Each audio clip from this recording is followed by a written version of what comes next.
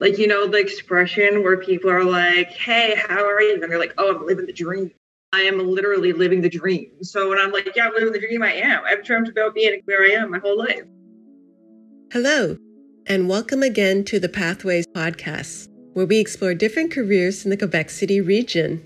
I'm your host, Susanna Tang, from Voice of English Speaking Quebec. Today, I'll be speaking with Krystal Cadwell about her experience working as a heavy duty mechanic. Krystal has been in the industry for seven years, and she currently works for Toromont. Ready? Let's find out more about this exciting skilled trade. All right, Krystal, what do heavy equipment mechanics do?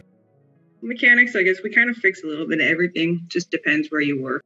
Myself, I work mostly on uh, trucks and excavators. A lot of troubleshooting, hydraulics, electrical, replacing components. You need to be able to figure out why it's broken and be able to fix it too. So, like, why would something break down? You know, the components can wear over time. So they can, you know, become seized or rusty or broken you could have one thing that fails like example a hydraulic system and if like the pump fails and it gets contaminated then that could be the reason why numerous other parts on that system break too myself i work for caterpillar so a lot of our gear when we sell it is new so we do warranty work and we do a lot they're called pcrs product component replacements we replace the parts based on the hours that they've went, whether there's something wrong or not. An engine on the trucks at the mine I'm currently at, certain amount like 6,000 or 7,000 hours, and then we replace them out just to avoid the fact that if they break, then that could cause more problems on the truck itself. Now, can you explain for the listeners what is heavy equipment?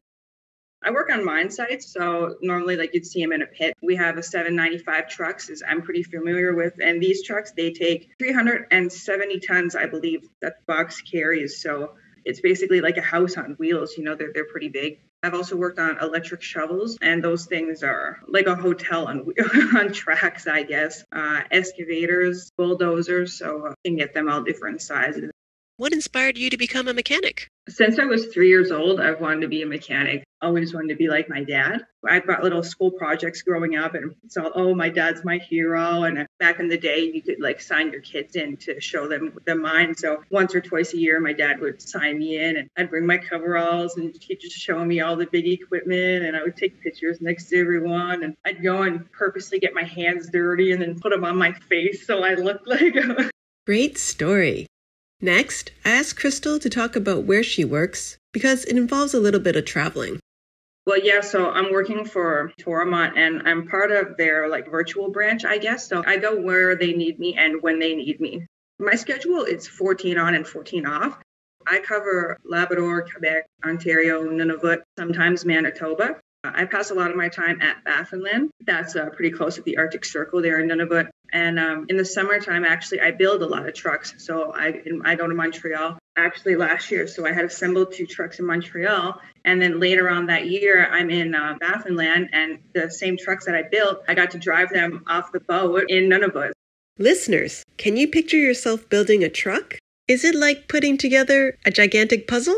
Building a truck, I guess it is kind of like a puzzle because like when you take an engine out or a transmission, you can't like cut a corner, you know, you can't get a piece. Is some of it obvious though? Like, is it kind of also like a puzzle as in only this piece will fit here? You could have five hoses the same size, the same length with the same angle. Ooh. So, you know, that's when you'd like use like a colored zip tie or you'd mark it or something. But if, you know, if you forget that, you're you're gonna have a really hard time putting that back together. wow. And like how many pieces would that be to put together something like that? Oh, that depends. If you were to count every single little O-ring, you could have thousands.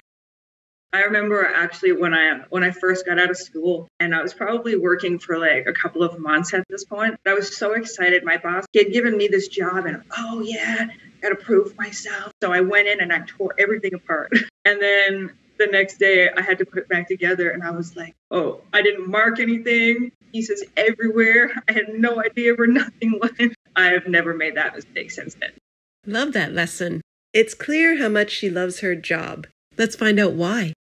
Well, I love it because it's something different every day. And every day I learn something. I work with guys who've been working at this job for 40 years, and some days we learn something together. So it's never the same. It's a challenge. And I love the fact that I can find different ways to do everything and I push my body and I push my mind. And it's really cool to understand something. When you truly understand how something works, for me, it's amazing. Like when you replace an engine and you remove it, you reinstall, you start it up, and everything works right the first time and there's no problem. Like a sense of accomplishment. It's a challenge. And, you know, the day passes fast because I thoroughly enjoy it. It's not really a job for me. It's like, you know, I, I, I do mechanic work in my backyard when I'm home all the time. So, yeah, I, I'm going to go work for two weeks, but I'm just getting paid to do something that I thoroughly enjoy because I, I learn something every day. Okay, but let's go to the other side. Uh, it's not all fun and games. What is difficult about your job? Yeah, the physical part can be a little bit difficult just because obviously, you know, I'm not shaped like the Hulk. I wish I was, but I'm not. Uh, some old man told me once that my muscles are pipe. So I've always got like a piece of pipe like three feet long, and that's that's my muscle on like a ratchet or something. But it is physically difficult when you can't get a pipe in there or you can't get a come along. How do you compensate for that then? So like I'll look at the guys sometimes and be like, hey, can if you can't break that, then I, I can do it, but I'm gonna have to remove, you know, a piece or two so I can get at it better. There is a way. It's just sometimes it, it might take me a little bit longer than everyone else, but I work around it. There's come along. So you can do anything. Anything. You just gotta I gotta work a little bit harder. Great attitude. Uh, sorry, this word that you're saying, come along. Him, I can't, I'm not catching it. I think. Huh? What's that oh, word? Oh, sorry, a come along, like a chain block. You can get them like a quarter ton or half ton or three quarter or one ton or bigger. So it's got like this little handle and it's got these like two gears inside with a running chain. So you have a hook on the top and then a long chain on the bottom. So you can attach this somewhere. You could lift a piece that's like 600 pounds. We use it a lot too on cranes. If you don't have a lifting bracket for the engine, you can put some come alongs on with that so you can, you know, control the angle of the engine or So that then you can get underneath it. yeah, and I, I use them for a lot of things, like just uh, simply installing like a hydraulic hose on a truck. So when they're new, they're really hard. So I use, I'm not strong enough to push that myself. So just use a come along it holds it in place and you still got two hands to work to. Describe your typical workday, Krystal. My workday can kind of go one or two ways. If I'm working in the garage, I'll get my coveralls on, head into my safety meeting. Your boss will give you a job. So it's already planned out from the shift before. So yeah, your your truck's in this bay, or this is your job, or uh, go troubleshoot this, or this is a list of repairs. Go do these. I got enough work to get me through the entire day. Uh, if I'm out with my outdoors in my service truck, normally I am a field field service technician, so I work outdoors. You would start your day, go into work, meet your boss, have your safety meeting, hop in your service truck. There could be something broken down that you got to go fix, or you could do running repairs where uh, answer the radio for 12 hours and you go and you drive where the equipment is. You fix it, and if it's you know a blown engine or something, obviously it's got to go back to the shop. But your day can be completely planned out or not planned out at all. I try to be really organized when I work, whether I'm outdoors or inside, because you never know. You could be halfway through a job and your boss, you know, hey, you got to go here and do that, or hey, this truck's coming in and it's more important. I need you to stop what you're doing and switch jobs. You don't like routine. Perfect job. I have one more follow up then uh, about the safety thing you mentioned, the safety meeting. What's that about? They can be called a toolbox talk, safety meeting, uh, morning meeting. They go by companies or mine site regulations, but meet with your boss and your team. We have a safety topic of the day. So could be like uh, ice cleats or about the weather or about a work hazard or something. So, hey, focus more on this today. Or your job's high risk. So look at these safety talks. It can be 5, 15, 20 minutes in the morning, basically just so, you know, everyone's on the same page. Safety first. Pay attention as Krystal provides an example of how they minimize risk. You know these trucks are so big. Example it's not like a pickup truck right? You could be behind the tire and you know no one's ever going to know that you're there or you could have the box up and you could be inside working on something. No one's ever going to know that you're there so have a lockout tag up procedure in place. Mines have their own protocol for that. So like i have a lock then there's a lock to lock the box and that way the truck can never be started because you have a you know like your own personal key and that's a rule if you ever work on something almost at any mine site and you don't put a lock on then you're going to get fired and get sent home the minute that they see that you're working on that with no lock So then somebody can't injure you by accident by operating the vehicle. there's all proper training and, and regulations to follow. I would really hope that most employers kind of push that. And how do you prevent uh, injuries? Because isn't it very repetitive? Actually, injury, well, yeah, you got to like stretch, I guess, and uh, take breaks. If you don't take care of yourself, you're going to be super broken when you're older. Speaking of injuries, I did have one back uh, two years ago. I was changing a tire on a triple seven. So these tires are like, when I stand next to it, I'm only halfway up. So they're pretty big. So I was taking a tire off and it runs by air. So obviously it takes a whole lot of pressure. So my glove got stuck. I actually tore my thumb almost off. Oh my God. Don't worry, her thumb is okay. Moving along, how often does she use English at work in Quebec? So, because you get to travel all over, obviously in Ontario you'd use English, but when you're in Quebec, do you use English often at work or? No, when I when I'm working in Quebec, normally I'm working in uh, Montreal or area like that. So there's French and there's English as well. But I had worked for a company before that actually only spoke French, and I didn't speak any French at the time. How did you manage that? Whole lot of actions.